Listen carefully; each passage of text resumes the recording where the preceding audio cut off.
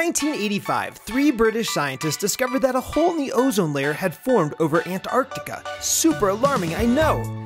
Later confirmed by NASA satellites, thanks NASA, the next step was figuring out where that hole came from. Enter Mario Molina of Mexico City and Sherwood Rowland of Delaware, Ohio, who figured out that chlorofluorocarbons, also known as CFCs, were behind this Earth endangering hole. They were used in aerosol cans and refrigerants, and they were really bad stuff. Eventually banned from being used, the ozone hole is now slowly healing, and will hopefully be back to normal by the mid 2040s. But why do we even care about the ozone layer in the first place? Ozone absorbs most ultraviolet radiation from the sun, but still some gets through and gives us sunburns, but you can think of the ozone as Earth's sunblock. Well, without the ozone layer, we'd have to live underground in caves to avoid constant, terrible sunburns. That would stink. And here's a fun fact. Ozone is toxic to human lungs and a pollutant here at the surface of the Earth, but up in the atmosphere, it's Earth's savior and the only reason that life can live on the surface of the planet. So, O3, we owe you.